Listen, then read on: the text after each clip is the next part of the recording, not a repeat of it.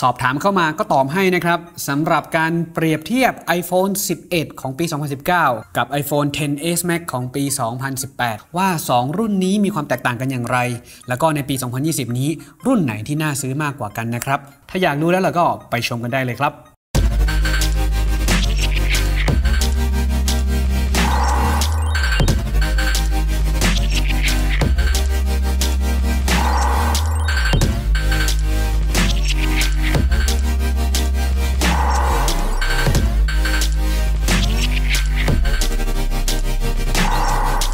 สาเหตุที่ต้องจับมาแบทเทิลกันนะครับ ระหว่าง iPhone 11 กับ iPhone 10s Max ของปี 2018 นะครับ ก็เพราะว่าณปัจจุบันนี้ราคาการจำหน่ายของทั้ง 2 รุ่น ต้องบอกว่าเท่ากันเลยนะครับ ถ้าราคามือ 1 ราคาเต็มจากทาง Apple นะครับ ความจุ 64 g b ของ iPhone 11 ราคาอยู่ที่ 24,900 บาท แต่ว่าจะมีบางร้านนะครับ บางตัวแทนจำหน่าย ราคาเครื่องเปล่านะ ที่ยังไม่ได้ผูกแพ็กเกจที่ยังไม่ได้อะไรเลย ราคาจะขายอยู่ที่ 24,500 บาท อันนี้ผมอ้างอิงจาก เว็บไซต์ของ Banana นะครับ แล้วก็มาดูฝั่ง iPhone 10s Max ครับ ซึ่งเป็นรุ่นท็อปสุดในปี 2018 นะครับ ความจุ 64 g b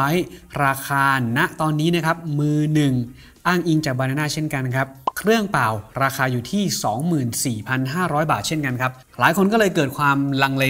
แล้วก็มีข้อสงสัยว่าราคามันเท่ากันขนาดนี้เราจะซื้อรุ่นไหนดีนั่นแหละก็เลยเป็นที่มาของคลิปแบทเทิลนี้นะครับ เดี๋ยวยังไงผมจะมาสรุปให้ฟังเป็นจุดๆกันไปเลยนะครับ เริ่มต้นที่จุดแรกครับ ในเรื่องของสี iPhone 11 จะมีสีให้เลือกทั้งหมด 7 สีครับ ไม่ว่าจะเป็นสีม่วง สีเหลือง สีเขียว สีดำ สีขาว แล้วก็สีแดงนะครับ ส่วนฝั่งของ iPhone 10s Max นะครับ มีให้เลือกอยู่ 3 สี สีเงิน สีทอง แล้วก็สี Space Gray นะฮะ จุดที่ 2 ครับในเรื่องของขนาดหน้าจอ iPhone 11 ขนาดหน้าจอจะอยู่ที่ 6.1 นิ้ว iPhone 10s Max หน้าจอจะขนาด 6.5 นิ้ว iPhone 11 จะใช้จอ LCD ที่เป็น Liquid Retina นะครับรองรับแบบ Tap to Wake ด้วย แต่ว่าในฝั่งของ iPhone 10s Max นั้นจะใช้เป็นหน้าจอ OLED ซึ่งมีค่าคอนทราสต์ที่มากกว่า แล้วก็มีความละเอียดของหน้าจอที่มากกว่านะครับตัวเลขเป็นเท่าไหร่นั้น เราสามารถไปดูได้ในเว็บของ Apple แต่ผมจะสรุปตรงจุดนี้ให้ฟังกันเลยนะครับในเรื่องของหน้าจอ iPhone 10s Max นั้น ชนะ iPhone 11 อย่างขาดลอยนะครับ ในเรื่องการใช้งานครับ อย่างเช่นความสว่างของหน้าจอรายละเอียดที่แสดงผลนะครับ พร้อมทั้งกับการสู้แสงเวลาที่เราออกไป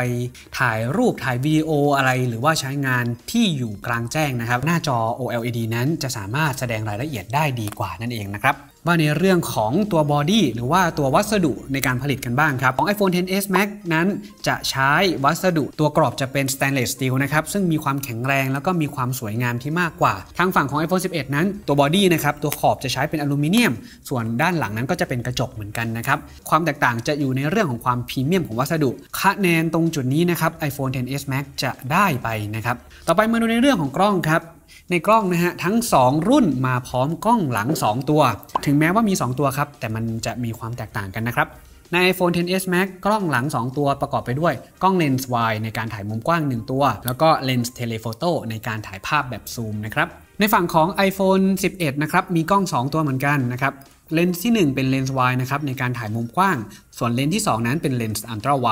สำหรับถ่ายมุมที่กว้างมากนะครับดังนั้นคะแนนผมว่า 2 อันนี้เทียบเท่ากันนะครับแต่จะต้องพิจารณา 1 จุด นั่นก็คือในเรื่องของ iPhone 11 นั้น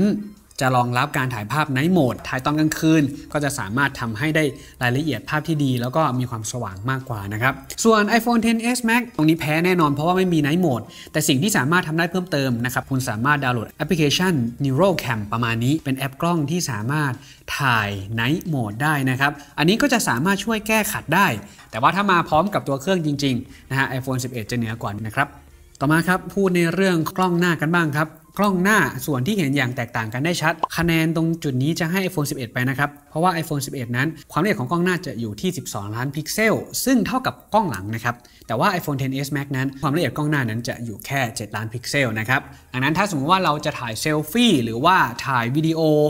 ต้องบอกว่า iPhone 11 นั้นถ่ายจากกล้องหน้าและก็กล้องหลังทำได้ดีกว่านะครับ มาพูดถึงคุณสมบัติในเรื่องของวิดีโอบ้างครับ การถ่ายวิดีโอต้องบอกว่า iPhone 11 เป็นฝ่ายชนะไป ความสามารถทางด้านวิดีโอของ iPhone 11 นะครับ ถ่าย 4K แบบ 60 เฟรม per sec ซึ่งเทียบเท่ากับตัวนี้ แต่ว่าจะสามารถถ่ายวิดีโอ 4K ที่เป็น HDR ได้ด้วย บันทึกเสียงแบบสเตอริโอได้ด้วยนะครับ โดยรวมพูดถึงเรื่องการถ่ายวิดีโอ iPhone 11 สามารถทำได้ดีกว่านะครับ ระบบการยืนยันตัวตน นะฮะทั้ง 2 รุ่นจะได้คะแนนเท่ากันเพราะว่าใช้ Face ID เหมือนกันนะครับในการสแกนใบหน้า จุดต่อมาครับในเรื่องของ CPU พลังงานการประมวลผล CPU ต้องบอกว่า iPhone 11 นั้นใหม่กว่า เพราะว่า iPhone 11 จะใช้ชิป CPU A13 Bionic ซึ่งพลังการประมวลผลนั้นจะมีความเร็วและแรงมากกว่า A12 Bionic ที่ iPhone 10s ใช้อยู่นะครับ ในเรื่องของแรมทั้ง 2 รุ่นให้มาเท่ากันเลยอยู่ที่4 g b ดังนั้นความเร็วในการประมวลผลนั้น iPhone 11 เป็นต่อนะครับ ถือว่าเร็วและแรงกว่า ในเรื่องของการกันน้ำ ทั้ง 2 รุ่นจะมีความสามารถเท่ากันนะครับ ไม่มีใครเหนือกว่าใคร ข้อมูลต่อมาครับที่น่าสนใจอีกอย่างหนึ่งก็คือในเรื่องของระบบการชาร์จไฟให้กับตัว iPhone นะครับ ทั้ง 2 รุ่นรองรับฟ้าชาร์จเหมือนกัน แต่ว่าอุปกรณ์ที่มีอยู่ในกล่องนั้น เป็นอะแดปเตอร์ 5 วัตต์นะครับ ให้มาเหมือนกันหมดเลย ไม่มีตัวไหนที่ได้ดีกว่ากันนะครับในเรื่องของอะแดปเตอร์ แต่ว่าในเรื่องคุณสมบัติการชาร์จเร็วนั้นนะครับ iPhone 10s Max รองรับการชาร์จเร็วสูงสุดนะครับกำลังไฟอยู่ที่ 18 วัตต์นะครับไม่เกินนั้น ส่วน iPhone 11 นะครับจะรองรับกำลังไฟอยู่ที่ประมาณ 23 วัตต์ ซึ่งมากกว่าประมาณ 5 วัตต์นะครับดังนั้นถ้าสมมุติว่าเรานำไปชาร์จใช่ไหมด้วยอะแดปเตอร์ที่มากกว่า 30 วัตต์นะครับ iPhone 11 จะชาร์จเต็มเร็วกว่า iPhone 10s Max นั่นเองครับ ในเรื่องของแบตเตอรี่ครับ แบตเตอรี่ภายในของ iPhone 11 นั้น ความจุจะอยู่ที่ 3,110 มิลลิแอมส่วน iPhone 10s Max นั้นจะมากกว่านิดนึงนะครับ จะอยู่ที่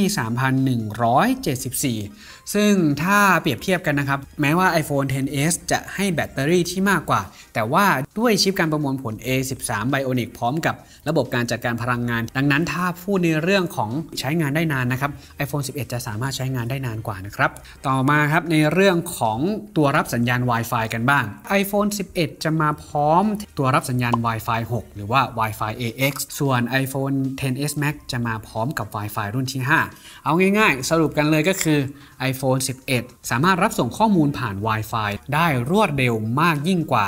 iPhone 10s Max นะครับเพราะว่าเทคโนโลยี Wi-Fi นั้นต่างกัน เท่าที่ผมได้ลองทดสอบนะครับกับความเร็วอินเทอร์เน็ตระดับ1กิกะบิตความเร็วสูงสุดที่ผมเคยทำได้บน iPhone 11 เครื่องนี้นะครับจะอยู่ที่ประมาณ 800 เมกะบิตต้นๆนะครับแต่ว่าในตระกูลของ iPhone 11 นะครับมีคนเคยไปทดสอบความเร็วของ Wi-Fi ในเครื่องนี้นะครับสามารถวิ่งได้มากกว่า 900 เมกะบิตต่อวินาทีเลยนะครับในฝั่งของ iPhone 10s Max นะครับเท่าที่ผมได้ลองใช้ ความเร็วสูงสุดจะอยู่ระดับประมาณ 600 เมกะบิตต่อวินาทีราวๆนี้นะครับไม่วิ่งถึง 700 ไม่วิ่งถึง 800นะครับเราจะเห็นความแตกต่างได้อย่างชัดเจน แต่ทั้งนี้ทั้งนั้นครับเราต้องมาพิจารณาว่าที่บ้านของเราใช้ Wi-Fi รุ่นไหนอยู่ ถามว่า Wi-Fi 5 ที่ให้มาใน iPhone 10s Max ตัวนี้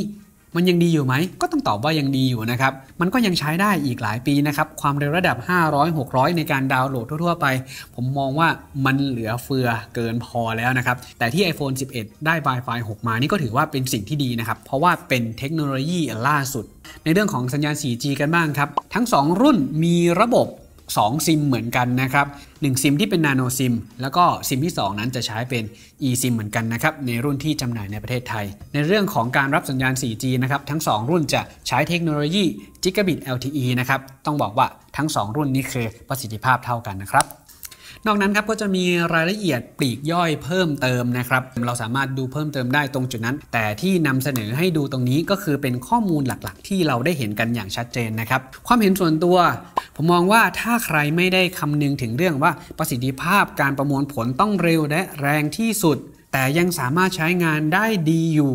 มองจุดเด่นในเรื่องของแบบเอ้ยหน้าจอมันดีกว่านะ หน้าจอดีกว่าชัดกว่ารายละเอียดดีกว่า แล้วก็หน้าจอที่ใหญ่กว่าด้วย หน้าจอขนาด 6.1 นิ้วเทียบกับ 6.5 นิ้ว ต้องบอกว่าตัวนี้นะครับมันก็จะใหญ่กว่า มันดูพรีเมียมกว่าดูชัดกว่าดูรายละเอียด detail ได้เยอะกว่านะครับก็จะแพ้กันในเรื่องกล้องอะไรเฉยๆประมาณนั้น เรื่องกล้องเรื่องประมวลผลที่ไม่ใช่ชิปตัวใหม่ล่าสุด แล้วก็ไม่ได้มีเลนส์ ultra wide แค่นั้นนะครับถ้าใครชอบความพรีเมียมความหรูหรานะฮะต้องบอกว่า iPhone 10s Max ผมมองว่ายังน่าซื้อมากกว่า iPhone 11 นะครับ สำหรับคนที่เหมาะกับ iPhone 11 นะครับ ถ้ามองว่า iPhone 10s Max มันใหญ่เกินไปสำหรับเรา แล้วก็เราต้องการแบบอยากได้เทคโนโลยีล่าสุดนะครับ ไม่ได้ซีเรียสมากในเรื่องของหน้าจอ เพราะว่าหน้าจอ HD ที่ดูอยู่ตรงนี้ก็ถือว่าโอเคแล้วสำหรับเรา แบตเตอรี่ก็สามารถใช้งานได้อย่างยาวนาน แล้วก็ชิป CPU ตัวใหม่ล่าสุดด้วยเป็น A13 ด้วยอะไรเงี้ย ก็ต้องบอกว่าตัว iPhone 11 นั้นเหมาะสำหรับคุณมากกว่านะครับนี่แหละครับ ผมพยายามยกตัวอย่างให้เห็นทั้ง 2 ฝั่งนะครับ ทั้งข้อดีของ iPhone 11 ที่โดดเด่นเป็นยังไง ของ iPhone 10s Max ที่โดดเด่นเป็นยังไง หวังว่าข้อมูลตรงจุดนี้นะครับ เราจะนำไปพิจารณา และถามตัวเองว่าสรุปแล้วเราต้องการอะไรกันแน่ ต้องบอกอย่างนี้ครับว่า โทรศัพท์ 1 เครื่อง หรือว่า iPhone 1 เครื่อง มันไม่ได้ออกแบบมาสำหรับทุกคน บางคนชอบเครื่องเล็ก บางคนชอบเครื่องใหญ่ บางคนชอบหน้าจอ LCD ธรรมดา บางคนชอบหน้าจอ OLED และชอบความหรูหรา อะไรอย่างเงี้ยเราก็ต้องไปเลือกแล้วก็ต้องไปเวทไปชั่งน้ำหนักเอาว่าเราต้องการแบบไหนกันแน่นะครับในคลิปนี้คงฝากไว้เพียงเท่านี้นะครับผมผมต้องไอมดขอตัวลาไปก่อน ไว้เดี๋ยวพบกันในรอบหน้าครับ สวัสดีครับ Let's go.